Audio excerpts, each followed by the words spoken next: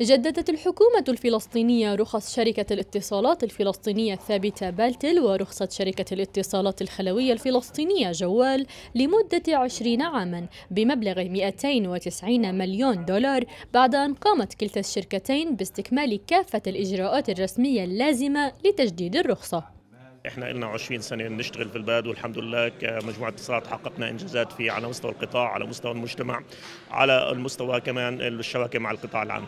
إحنا اليوم بعد مفاوضات استمرت آه، عدة أشهر آه، بنجدد هاي الرخصة بشروط تنظيمية جديدة وشروط مالية جديدة. هذا مكسب لقطاع الاتصالات الفلسطيني هذا مكسب لدولة فلسطين هذا مكسب لجمهور مشتركينا في الشعب الفلسطيني.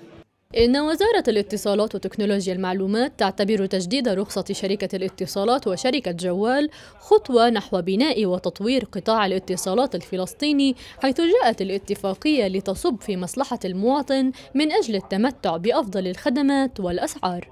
اتفاقية سوف تدوم لمدة 20 سنة وبالتالي لابد أن تكون الوزارة والحكومة تعرف ما لها وما عليها في خلال هذه العشرين سنة. وبالتالي كان كانت الاتفاقية من من ضمن النقاط التي عالجتها أي قصور كان ممكن قد حصل في الاتفاقية السابقة التي وقعت قبل حوالي 20 سنة. وبالتالي تعلمنا بشكل كبير من ما كان موجود لدينا.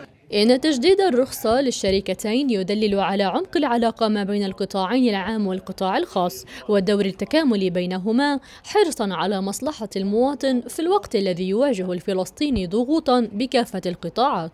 من مدينة رام الله لتلفزيون القدس رباع عياش